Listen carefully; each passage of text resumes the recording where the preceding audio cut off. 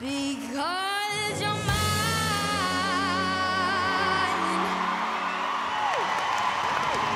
Who is the girl I see staring straight back at me? All on their feet. The whole lot of them. Why is my reflection someone What a performance! Huh? You're not human.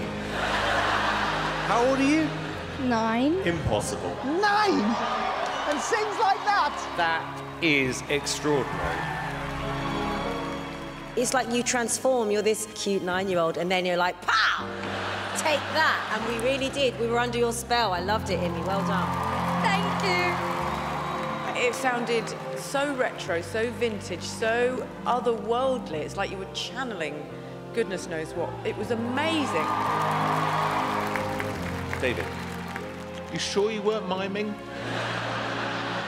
I'm sure. No, I I was just, I was completely gobsmacked. It's extraordinary. Can I ask you a question? yeah. Were you expecting this reaction?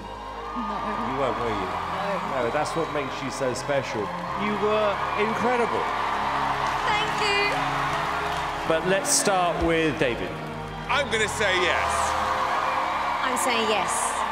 It's a yes from me.